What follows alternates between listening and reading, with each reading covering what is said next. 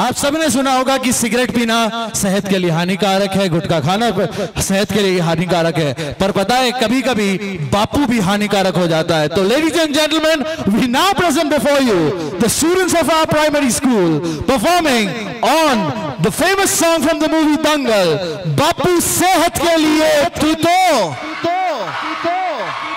curtain please curtain